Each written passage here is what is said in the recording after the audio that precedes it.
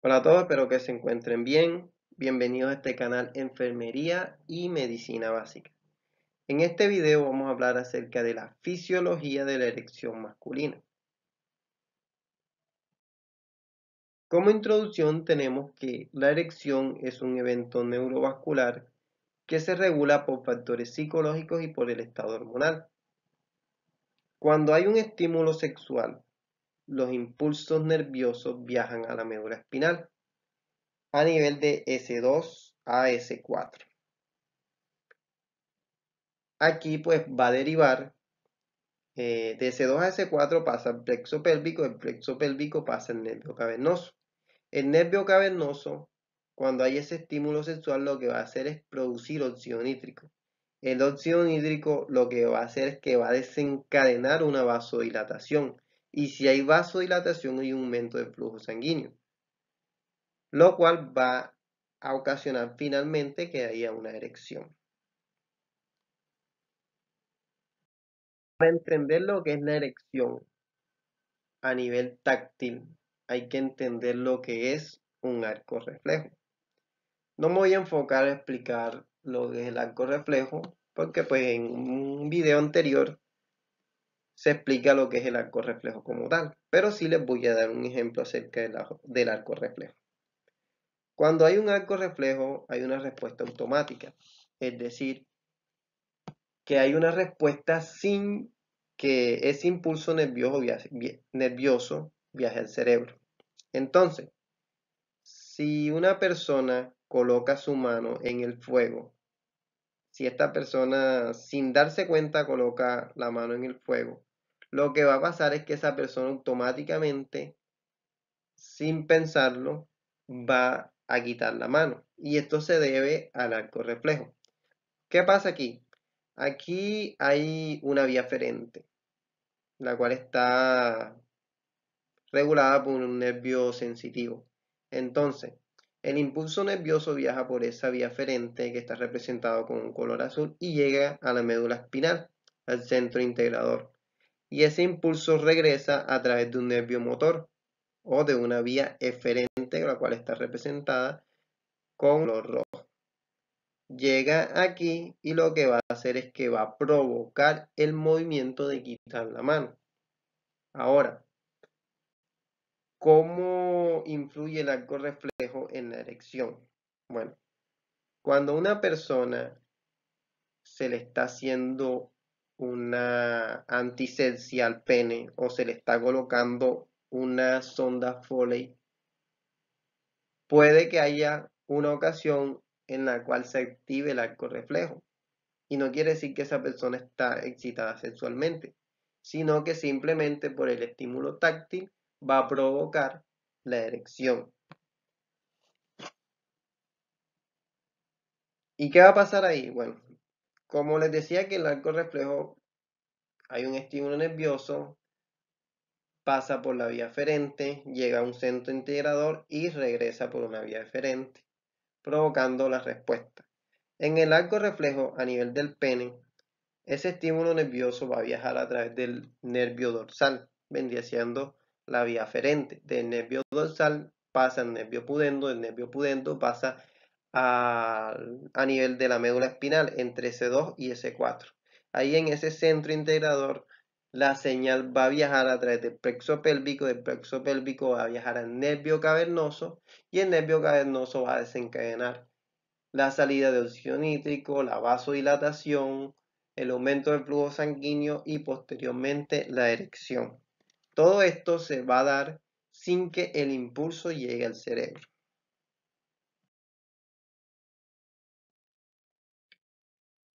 Aquí tenemos pues lo que es la inervación del pene.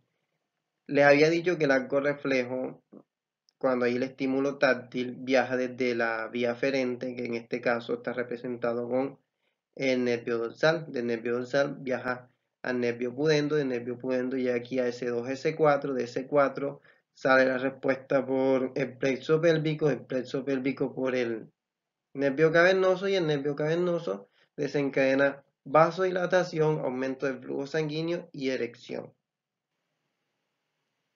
Ahora, ¿Qué va a suceder si el estímulo no es dado por un arco reflejo, sino que el estímulo es un estímulo psicógeno? Por ejemplo, si un hombre está siendo provocado o le apetece sexualmente su esposa, lo que va a suceder en este caso va a ser algo muy diferente al arco reflejo. ¿Qué va a suceder?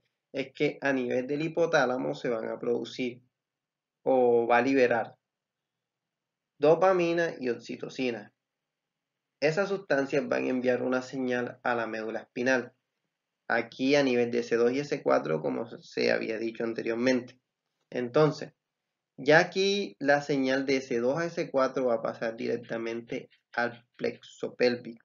Del plexo pélvico el nervio cavernoso y el nervio cavernoso sabemos que es el que provoca vasodilatación y posteriormente la erección del, del pene. Aquí esto es básicamente lo que se había dicho anteriormente. Con respecto a la erección a nivel táctil, a nivel de arco reflejo, dijimos que viaja por el nervio dorsal. Del nervio dorsal llega aquí al nervio pudendo, el cual pues no está terminado el dibujo, pero básicamente el nervio pudendo iría por aquí y se conectaría acá. De ahí llegaría aquí a S2, a nivel de S2 a S4. Vamos a hacer el dibujo aquí. Llegaría aquí. Aquí se procesa, digamos que esa información y esa información sale por este plexo pélvico. Por esta parte de aquí. Y de ahí llegaría al nervio cavernoso. Y del nervio cavernoso desencadena toda la vasodilatación, el llenado de flujo sanguíneo y la erección. Esto es hablando de un estímulo Del estímulo psicógeno. Bueno, con el estímulo psicógeno que dijimos, que la señal viaja del hipotálamo. Dijimos que en el hipotálamo se produce dopamina y también oxitocina. Se libera. Eso viaja aquí a través de la médula espinal en el S2-S4. De ahí sale de, este centro integrador sale aquí por el plexo pélvico, que es todo esto de aquí. Del plexo pélvico se dirige hacia el nervio cavernoso, el cual va a provocar la erección. Ahora, fisiológicamente, ¿cómo funciona la erección? Bueno, está el estímulo nervioso, o el estímulo, mejor dicho, perdón, el estímulo sexual. El estímulo sexual llega al nervio cavernoso. En el, dentro del nervio cavernoso está la arginina, la cual con ese estímulo sexual lo que va a suceder es que esa arginina se va a convertir en óxido nítrico y esta reacción es catalizada por una enzima llamada óxido nítrico sintasa. Entonces se, el se produjo el óxido nítrico. El óxido nítrico va a salir. Va a salir y va a llegar a la membrana. Pero ese óxido nítrico no puede ingresar al, al vaso sanguíneo. Entonces llega aquí al endotelio y como no puede ingresar, lo que va a hacer es que va a activar una proteína, que es la proteína G. Activa la proteína G y la proteína G interactúa con una enzima que es la guanidilciclasa. La guanidilciclasa lo que hace es que convierte el GMP cíclico en, el GTP, perdón, en GMP cíclico. Y el GMP cíclico lo que va a producir es la vasodilatación. Produce vasodilatación, como hay vasodilatación, hay un aumento del flujo sanguíneo, lo cual provoca el llenado del pene y este se va a erectar. La respuesta de la erección o la fisiología de la erección está dada por el sistema nervioso parasimpático. Irrigación del pene, bueno. El pene está irradiado, bueno, vamos a partir de la arteria ilíaca.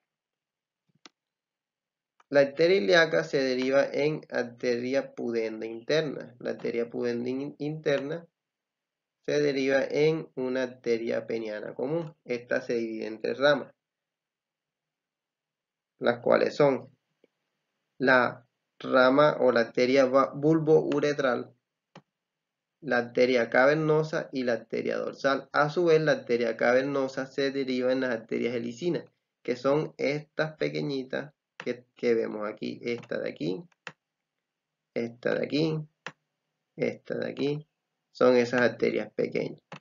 Bueno, el, la arteria pues bulbo-uretral, esperen un momento, yo borro esto.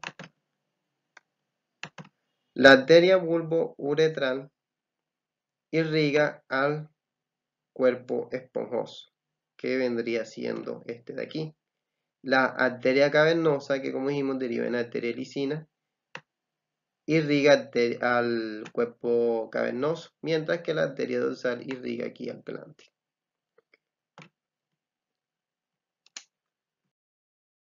Bueno, esto es un ejemplo de el pene cuando está en un estado de flacidez y cuando está en un estado eréctil. Aquí esta parte blanca que vemos aquí está representado, representando el cuerpo cavernoso. Aquí está en estado de flacidez. Vemos entonces que aquí hay una arteria, que es la arteria lisina, la cual deriva de la arteria cavernosa. Cuando hay un estado de flacidez, miremos cómo se encuentra esa arteria lisina. El diámetro es pequeño. Cuando el pene pasa de un estado de flacidez a un estado eréctil, miremos qué pasa con esa arteria lisina. Aquí se encontraba el diámetro un poco más pequeño, pero cuando hay erección, el diámetro aumenta. Como el diámetro aumenta, hay una entrada de sangre. Entonces el cuerpo cavernoso se llena de sangre. Esa sangre lo que va a hacer es que va a provocar la llenada de los sinusoides. Como se llena el cuerpo cavernoso de sangre, ¿qué es lo que va a suceder? Este flujo de salida, que es el flujo venoso, se va a comprimir. Como se comprime, la sangre no puede salir. Por tal razón, se llena el pene de sangre y se produce la erección.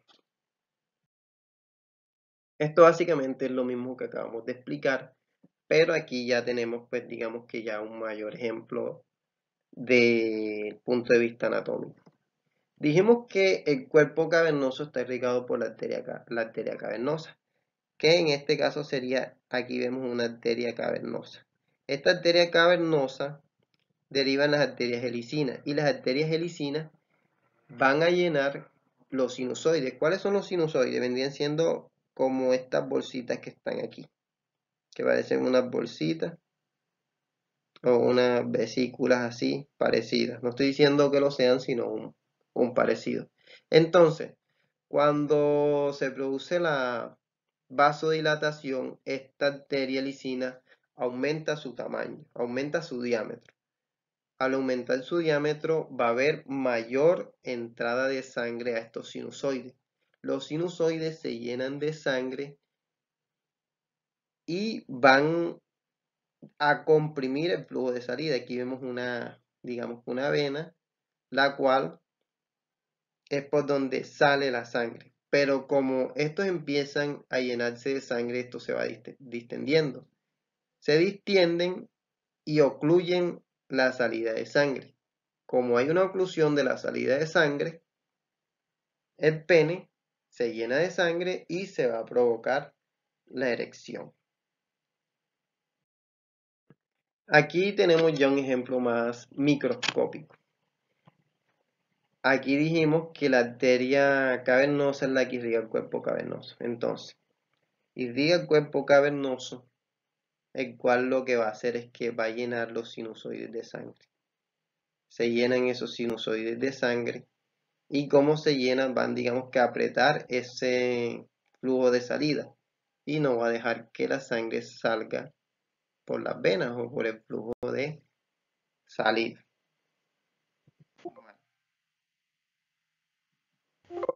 ¿Qué otra cosa importante? Bueno, es importante decir que habíamos eh, que aquí en la parte del cuerpo esponjoso se llena también de sangre, pero con menor presión.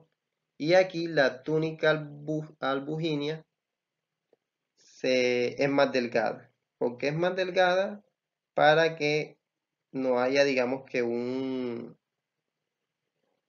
una comprensión sobre la uretra. Que la túnica albuginia, en este caso de, del cuerpo esponjoso, vendría por aquí. Y aquí en el caso del cuerpo cavernoso vendría siendo esta de aquí, representada aquí con un color blanco. Bueno, hasta aquí ha sido todo. Espero que les haya quedado claro, que les haya sido de gran ayuda. Si tienen alguna duda, déjenla en la caja de comentarios. Denle like al video y suscríbanse a mi canal. Nos vemos en un próximo video.